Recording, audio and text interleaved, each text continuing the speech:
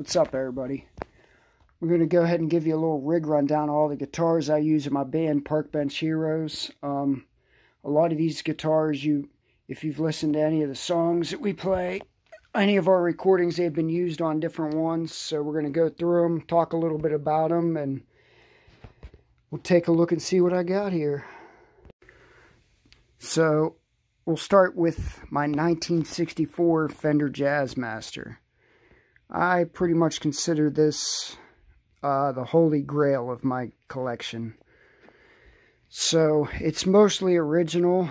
Um, I don't necessarily know for a fact, but luckily I know I know the guitar's entire history, passed through word of mouth. Uh, the guy that I got it from it came from his dad. Uh, the guy I got it from used it in a garage band he was in in high school, and his dad actually played in country western bands in Nebraska.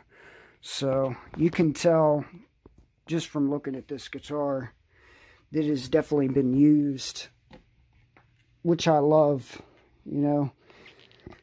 Anything like this gives a guitar a lot of character and also knowing that other people have used it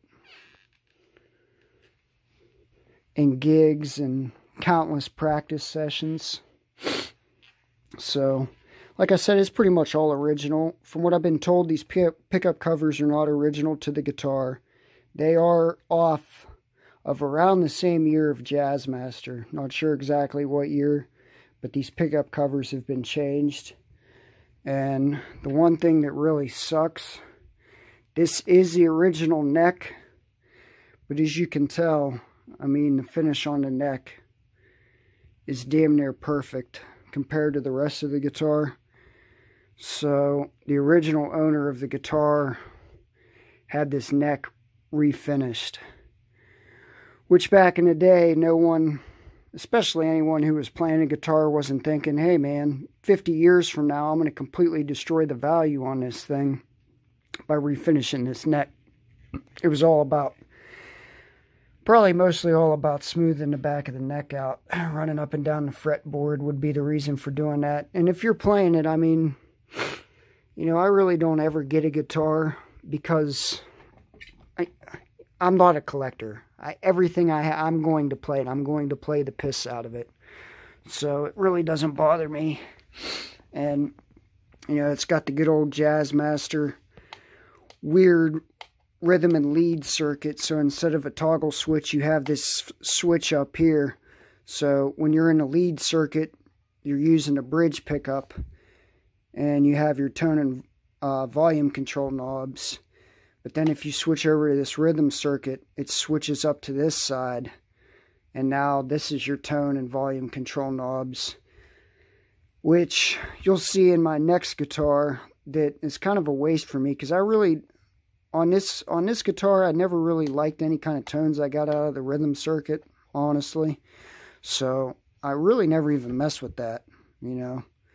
I'm I'm the type of guitar player, pretty much the only pickup I ever use in anything, I pretty much only use a bridge pickup.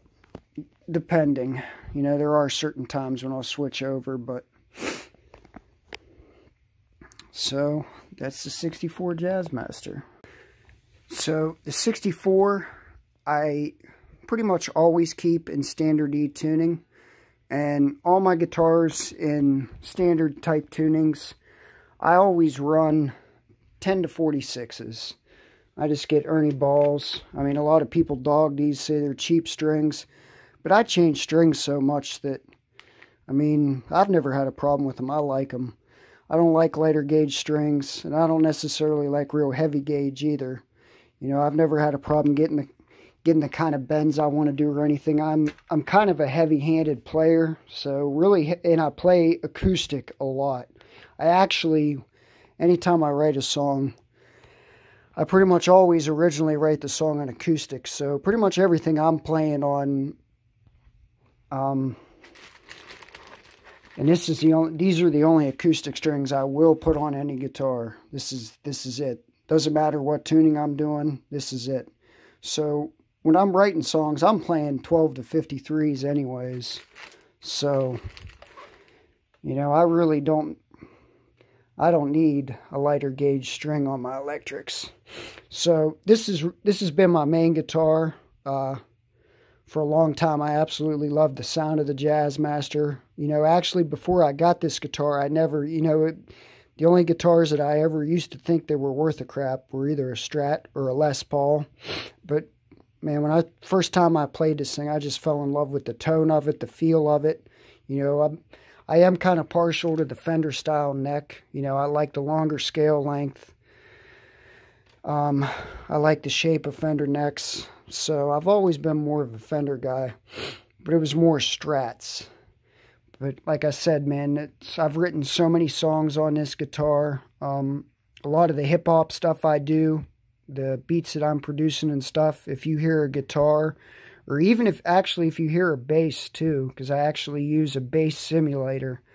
So any of the bass guitar work or regular guitar work you hear in my hip hop beats, it was most likely recorded on this guitar. But the only downside is this is a 64. This guitar right here is definitely irreplaceable. So I was kind of worried about playing out all the time. You know, you get a drunk idiot wander up on stage and knock this freaking thing over and break the original neck on my irreplaceable guitar. Then I got to scour the internet for a 64 Jazzmaster neck. So this is my most recent guitar that I've bought. And it's intended to be my stage replacement for the 64. And this is a 2019 American Professional limited edition Jazzmaster with an all rosewood neck. So it is a little bit different, um, like the control switching circuit, all that is taken away on this one. You just have normal lead, which is just your bridge pickup, which is pretty much all I use. You got your blend of both pickups, and then what they call what they usually call a rhythm circuit, which is your neck pickup. And then just one tone, one volume. Um, that's one difference. Doesn't have the same switching and all the electronics in it like the nor like a normal Jazzmaster would, which I don't use anyway, so it's really kind of pointless for me to have any of that. It has a more modern fender neck, you know, it's a more modern shape. And with the all rosewood neck, I mean, this thing honestly plays. It plays way faster than a 64. You know, I've I've only had this guitar for a little amount of time, but honestly, I, I almost think it's like a night and day difference between the 64. Actually, you know, you I know a lot of guys that say the vintage stuff is better. You just can't match the tone and stuff, and I don't necessarily agree with that. At least not in this case. Um, it has different pickups in it. You know, it's got a more modern, hotter pickup in it. Still the same style of pickup, close to the same tone except hotter. So you get a little bit more output out of it. Um, and honestly, the tone's a little bit different too. Also, on this one, we don't have we don't have a normal Jazzmaster bridge. See, the one problem with with the Jazzmaster is the way the saddles are on it there's you have all these different grooves that your string can go in on these saddles. There's not just one groove for the string to ride in. So what tends to happen is if you're playing really heavy, like real heavy picking, you're being really aggressive, what'll happen is this string will actually move in the saddle. It'll switch between these little notches while you're playing. And it'll th either throw it out of tune, you could possibly break a string. So an old trick a lot of guys did on those Jazzmasters. This is a Fender Mustang style bridge. So the difference is, is the saddles have one groove in them. I mean, it's still, it still could possibly come out of that if you were really getting crazy. But uh, it's an upgrade that guys have done for a long time on Jazzmasters. And on this one, Fender went ahead and did it from the factory for you. It's a little bit I think it's a little bit easier to set the intonation on it like this. It, you don't have to worry about putting it in the right groove. Um, like I said, I haven't had this guitar for long, and you know, when I bought it, is you run into a lot. Most most guitar shops aren't real good at doing a setup. So I played it out of the box for a while. I had a little bit of problem. The low E string was buzzing. So what I did is I went through. First thing I did is I rewrapped the string because the way it was, it was only hitting on this one fret and it was only this string. So I tried rewrapping the string because when they wrapped around the tuning tuning post, they wrapped up instead of wrapping down. So it was had kind of a funny angle coming off the nut. So I tried changing that. Didn't work. Still had the lower fret buzz. So I came down here, lowered the action a little bit, and set the intonation. Got the intonation set perfect. Got the action where I want it, and I still had to, still had a little bit of fret buzz. So I checked the relief on the neck, and it was just it need it, it didn't have enough relief in it. You know, this string, the low E, actually all the strings really didn't have any space space on the 12th when you fretted first and last. So, well, I did went ahead and I did a little truss rod adjustment on it, and I mean this thing's perfect now. So once again, this is uh, this one's in standard E. This is my main guitar. 10s, 10s to 46s, which I run on pretty much everything. And that's the, that's the newest one. This is the this is the main one you'll hear. Moving on with the electrics. This is my Ernie Ball Silhouette Special. So, one of the main differences in this guitar from the other ones is we have a we have a humbucker, which it's actually an active humbucker. So you got, let's see if I can get it out of here. You've got a cavity to put a 9 volt battery in, so the pickup is actually powered by its own 9 volt battery instead of just be, being powered off the amp. I actually got this guitar from the same person that I got that guitar from. This was actually the first electric guitar that I bought uh, after getting my life straightened around. You know, people who don't know me, you know, I had a lot of guitars before I had all kinds of strats and stuff, and I made a lot of bad decisions in my life. Ended up every guitar I owned, I pawned. You know, eventually ended up being homeless. And once I turned things back around, you know, and started being able to afford stuff like this again, this was the first electric that I got. So this guitar I keep in drop D tuning. It's in standard tuning except it's in drop D. Same with the strings. I still run 10 to 46s in it. You know, I don't put a thicker string. When I go to drop D, I don't change to a thicker top string or anything like that. You know, drop D's not going that crazy. So I don't feel I need to. Needs polished up a little bit. You can tell, like I said, all these guitars get played a lot. But this thing's in amazing shape. I'm really not sure what year it is. Um, I've never tried to look up the serial number to see what year it is. Yeah, I have no idea how to tell on an Ernie Ball either. It's a G on the first first part of the uh, serial number. If anyone knows what that means, I have no idea. So, any of our drop D stuff, I'll be playing this guitar. Locking tuners. seems to stay in tune pretty good. I really, I'm not much, I'm not much of a tremolo guy. Um, you'll see on one of my other guitars, I've got a uh, Floyd Rose on it. That's really the only time I'll use any kind of tremolo is if it's something with the Floyd Rose. But a guitar like this, I mean, the only reason, honestly, the only reason that this bar is on here is it's not removable on this bridge. So that's the only reason it's on here.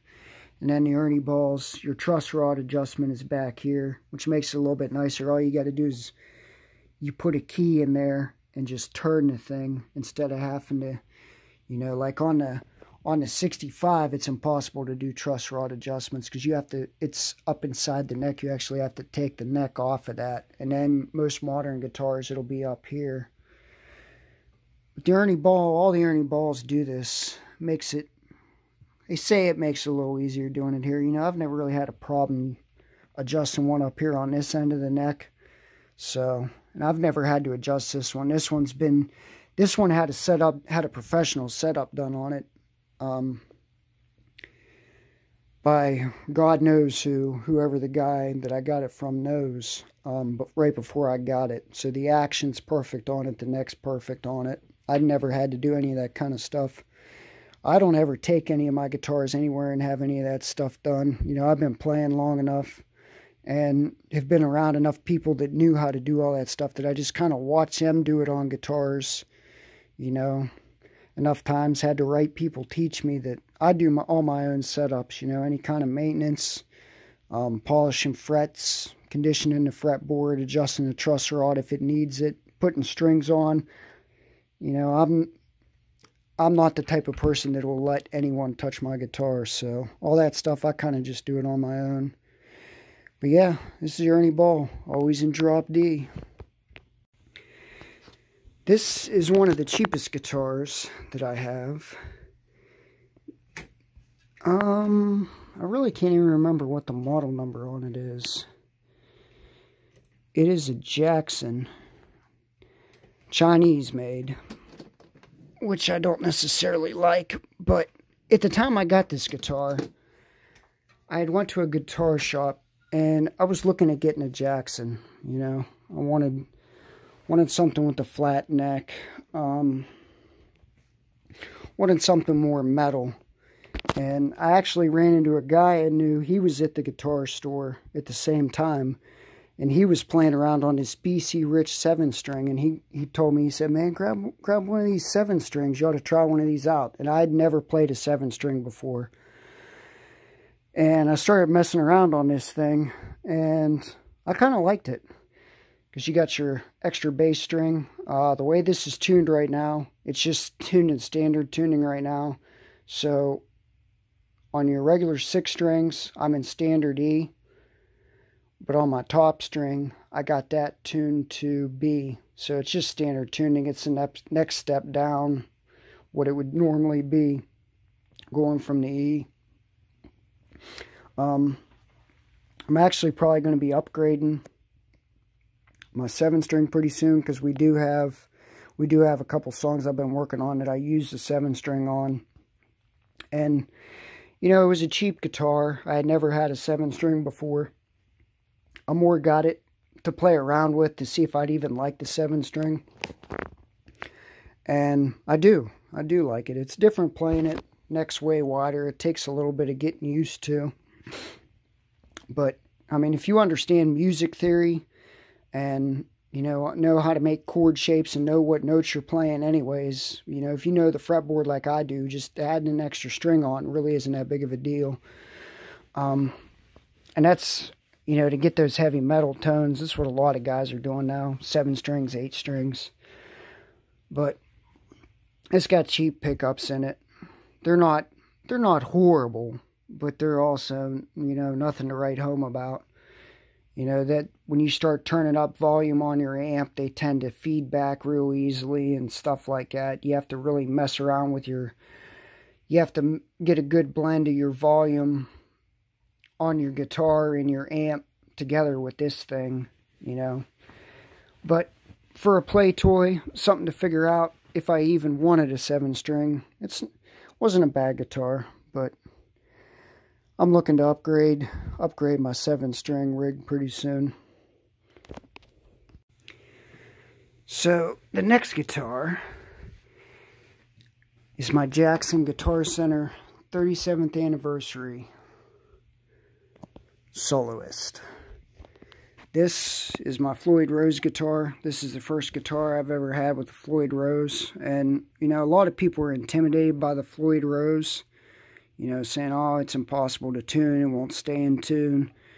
Which, if you understand how it works and understand the process uh, of how to tune it, how to put strings on it, It's actually really easy. You know, the first couple times you do it, it's kind of tedious and time consuming, but once you figure out what you're doing and when you got to make the adjustments, it is actually it is actually really simple. So the main thing putting strings on a Floyd Rose, you have to make sure your bridge back here stays level the whole time you're tuning it up. So you'll notice guys with a Floyd Rose guitar, the back cover is always gone for the tremolo springs and your tremolo adjustment. And the reason is, is like I said, when you're tuning it up, putting strings on it, whatever, you have to keep this bridge level the whole time. So you're constantly, you know, you'll tune up a little bit, go up, you know, go up a, a pitch or maybe half a pitch, and then you got to level this bridge back out or else you'll never get this thing in tune. It'll never stay in tune. Once you figure that system out, it's actually not too bad. like I said, it's a Guitar Center 37th Anniversary Edition. Um, actually some kid had this guitar and he had absolutely no idea how to use the Floyd Rose at all. He never had to never had the arm on there. Had other people put strings on it, put it in standard tuning and just play it. And he really didn't play metal type stuff to even be needing this guitar. So I actually got this guitar pretty cheap. Um, it has some decent pickups in it. It's got the EMGs in it and it has a turbo boost circuit which I never use I mean I got so many effects and stuff running through my amp that I never need I don't need to be running anything hotter really it just doing that using any effects just makes it so muddy you know so this guitar um, this is the only electric that I go up on gauge gauge of strings. So what am I running on this? I th I think I'm running be a beefy some uh, Ernie Ball beefy slinkies on this. So my top string is a 52 and I think my I think my high I think my high E is an 11. I don't know. I'd have to look it up. I'm pretty sure I run beefy beefy slinkies on it. I know this is definitely definitely a 52 though. And then the reason that I run the thicker strings on this one is this guitar I always keep in straight D tuning, which is a whole step down from standard tuning for playing stuff like, you know, Metallica, But a popular song that's a whole step down. Um, a lot of the heavier stuff will be a whole step down or even lower, but this one I always keep a whole step down. Only have only have a couple songs where I actually use this guitar. Um, really, the band that I'm in right now, we're not really much of a heavy heavy style of music playing band. We do have some stuff that's a little bit heavier, but for the most part, you know, it's not not metal. So that's all the electrics. Now we're going to run through the acoustics. And this guitar right here, so I bought this guitar solely for one gig. I needed an acoustic electric, was doing an acoustic set with uh, the lead singer of Park Bench Heroes on New Year's Eve, and my only acoustic that I had at the time wasn't electric. It wasn't an acoustic electric. It had no kind of pickup in it. So the only reason I bought this guitar was for that one one gig, and I ended up I ended up lucking out pretty good on this guitar. So I didn't want to spend a whole bunch of money. You know, I, I wanted a decent guitar, but I didn't want to spend a whole lot. So I ended up picking up this Epiphone this is, oh, it says it in the tag. I'm pretty sure it's a, okay, it's a DR. DR500M CE slash NA. So, it's an Epiphone made in Indonesia. Um, it's actually an all solid wood guitar. You know, to find a, an acoustic guitar in this kind of price range, you know, usually anything over anything solid wood, you're you're over a grand easy. You know, you're probably looking fifteen hundred dollars probably for an all solid wood guitar nowadays. And this thing was a little bit under a grand, a few hundred dollars under.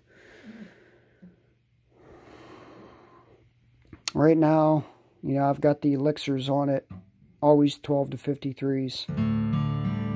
Right now it's in drop D because I was working on, like I said, all the stuff that I write, I usually write on acoustic and I was working on a song in drop D. So right now that's where I have this tuned. Um, it's got the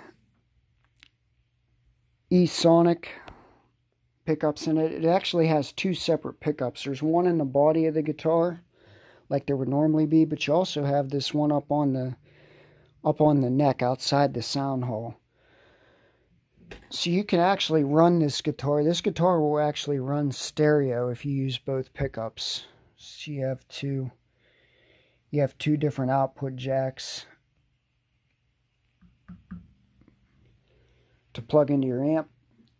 And then you select what you're going to do up here with the uh, with the electronic control. It has an onboard tuner which I really don't ever use unless I'm just playing it by itself not plugged in.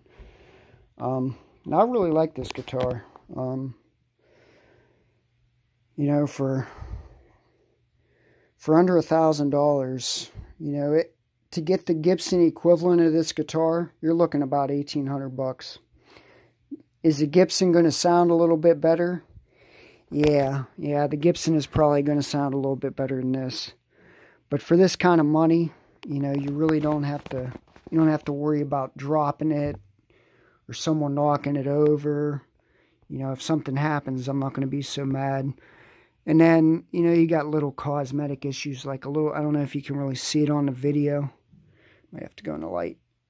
Yeah, but where the, the binding on the neck, you can see where a little bit of the paint from them painting the body ran into the binding of the neck. Which with Gibson's quality nowadays, you might end up seeing some stuff like that too on a Gibson. Um, there's a little bit of a blemish on the where the binding and the neck meet up towards the nut. Which really isn't a big deal. Doesn't affect the playability at all. You know, it's just quality control stuff, you know. But it's still, I mean, it's a beautiful guitar. Plays great. Tone's great on it.